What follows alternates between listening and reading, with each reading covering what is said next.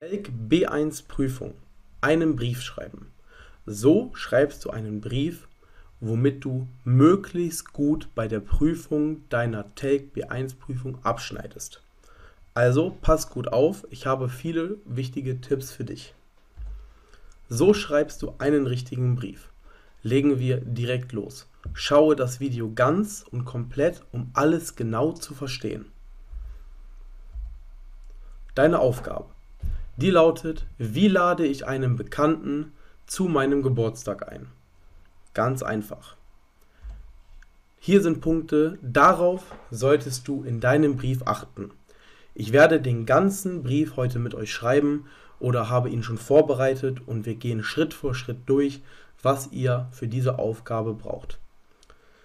Hier sind fünf Punkte, die ihr auf jeden Fall in diesem Brief drin haben solltet. Es gibt noch ein, zwei mehr, aber die habe ich euch ähm, für den späteren Briefverlauf noch mit eingebracht. Die Nummer 1 wäre das Datum schreiben. Das ist natürlich ganz wichtig. Das solltet ihr bei einer E-Mail oder einem Brief immer machen. Ähm, und das Datum sollte das Datum sein, ähm, an dem Tag, wo ihr den Brief oder die E-Mail schreibt bzw. verfasst. Der Punkt 2 ist, ihr solltet einen Betreff gewählt haben.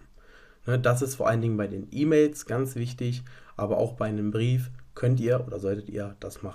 In dem Betreff könnt ihr dann auch schon auf die Aufgabenstellung eingehen.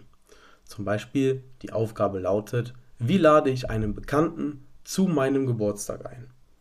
Und dann könnt ihr reinschreiben in den Betreff, zum Beispiel Geburtstagseinladung und dann den Namen. Dann solltet ihr eine Anrede formuliert haben. Das ist natürlich ganz wichtig. Folgt gleich, da zeige ich euch, was für eine Anrede ich in dem Beispiel genutzt habe.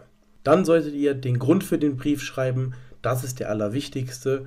Und den Grund für deinen Brief, den bekommst du immer aus der Aufgabe. Dort weißt du, was soll ich überhaupt machen, worüber soll ich schreiben. Hier bei der Aufgabe ist ganz klar, du sollst über, du sollst eine Geburtstagseinladung schreiben für einen Bekannten von dir. Und zum Schluss eine Verabschiedung formulieren. Auch immer ganz wichtig, folgt jetzt. Springen wir zur nächsten Folie. Take B1 Brief schreiben. Hier oben rechts seht ihr jetzt schon das Datum. Hier habe ich jetzt ein beliebiges Datum genommen, was für den Zeitraum passt. 18.07.2022. So, hier oben wäre mein Betreff. Das wäre Einladung zu meinem Geburtstag, weil ihr sollt ja eine Geburtstagseinladung schreiben. Der nächste Punkt ist die Anrede. Hier habe ich dann den Namen Jan genommen, weil es ein guter Freund von mir ist. Dann schreibe ich lieber Jan zum Beispiel. Hier ist jetzt der Hauptteil und ganz wichtig. Ich werde jetzt einmal den Brief durchlesen und am Ende werde ich nochmal alles zusammenlesen. Lieber Jan, ich würde dich gerne zu meiner Geburtstagsfeier am kommenden Samstag um 17 Uhr einladen. Am Samstag soll sehr schönes Wetter sein. Aus diesem Grund feiere ich meinen Geburtstag im Garten meiner Freundin. Wir haben dort einen schönen Pool, wo wir schwimmen können, falls uns zu heiß wird. Um 19 Uhr würde ich gerne etwas grillen, mit allem, was dazugehört, wie Würstchen, Steak, Salat und noch viel mehr. Wenn du möchtest, kannst du gerne auch etwas zum Essen vorbereiten. Bring gerne deine Badehose mit und ganz wichtig, gute Laune. Zum späten Abend habe ich noch einige kleine Spiele geplant, die sehr viel Spaß machen werden. Sag mir bitte Bescheid, ob du an diesem Tag kommst und ob du was mitbringen möchtest. Wenn du noch Fragen oder andere Anmerkungen hast, schreib mir gerne. Das war euer Hauptteil. Und zum Schluss habe ich noch einen weiteren Punkt mit eingebracht. Das ist ein Abschlusssatz. Zum Beispiel könnt ihr da hinschreiben, wie ich es getan habe. Ich freue mich auf deine Antwort. Das ist immer sehr schön und die Prüfer sehen sowas mit Sicherheit sehr gerne. Und zum Schluss ist natürlich dann eure Verabschiedung. Liebe Grüße, Sven. Da habe ich jetzt einfach einen Namen genommen, den ich mir ausgedacht habe.